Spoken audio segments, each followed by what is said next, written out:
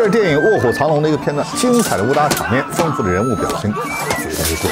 但你想过，闭上眼睛啊，如果你不看那个影儿，只是说听个声儿，那会是什么效果？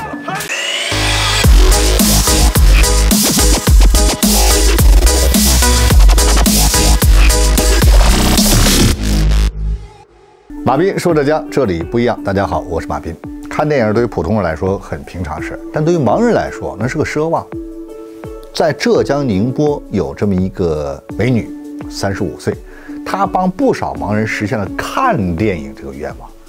她就三十五岁的朱莹，一零年从大学毕业回到老家，成为了一名给盲人讲电影的志愿者。那她到底怎么做才能给盲人把电影讲明白、讲生动呢？她选择第一部电影就特有挑战性，《活着》。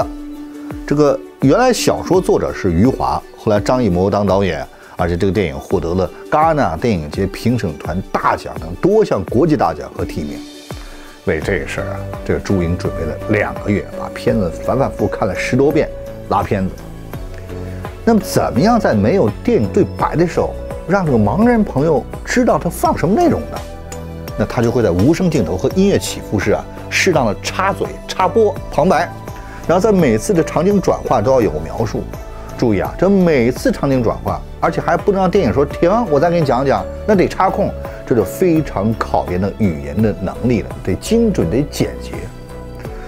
那怎么样要通过听觉让盲人朋友能够对这个电影人物的形象和场景有这么一个印象？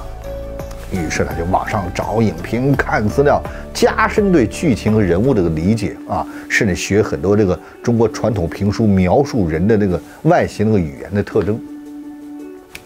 然后呢，把他奶奶请来，他老奶奶是个老宁波，然后是个白内障患者，也看不见。说奶奶您坐着，我给您讲。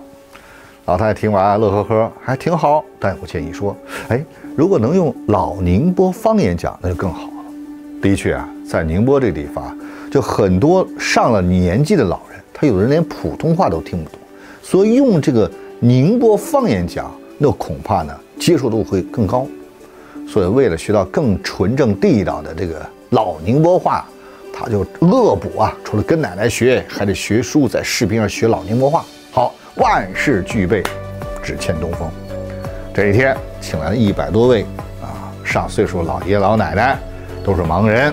啊，坐在这儿，老爷老奶奶，你们听好了，来给你们讲这个电影啊。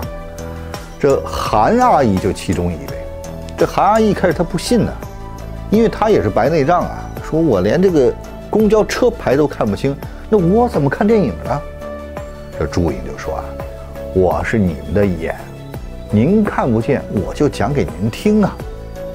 这叭叭叭一段下来以后，就发现台下那些老人们啊，时而发出笑声，就时而发出这个。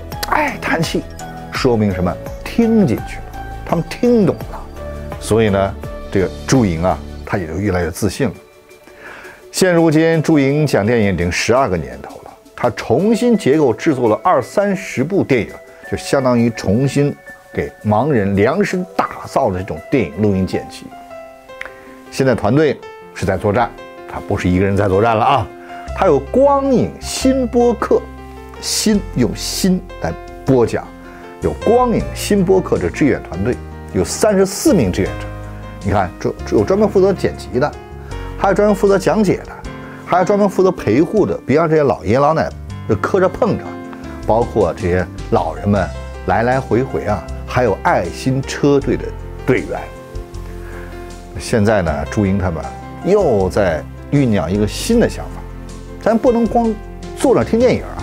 咱得走出去，带这些老人们亲近大自然，啊，可以闻闻花香，听听鸟叫，啊，感觉啊春天的气息，大自然的气息。所以就像那首歌说：“你是我的眼。”他所唱，来，摄像老师。是我的眼带我领略四季的变换，就这样。啊，是啊，反正就这样吧，唱的比我好啊。在浙江，在宁波呀，这个普通居民走出家门十五分钟，可以什么遛弯儿啊，买个菜呀，理个发呀，送个孩子等等等，这叫什么？这就叫十五分钟生活圈。那普通居民 OK，但对于很多老人，尤其这个盲人来说啊，他们如果没有人陪，那就很困难，那就寸步难移。没关系，有了朱莹和他的团队和这爱心车队，你别说十五分钟，两个十五分钟，三个十五分钟都能做到。你看，都去公园了吗？哼，所以真正做到了，在追求幸福感的路上，一个都不能落下。好，各位，如果你要喜欢我的内容和频道，欢迎点赞、转发、订阅、评论。咱们下期再见。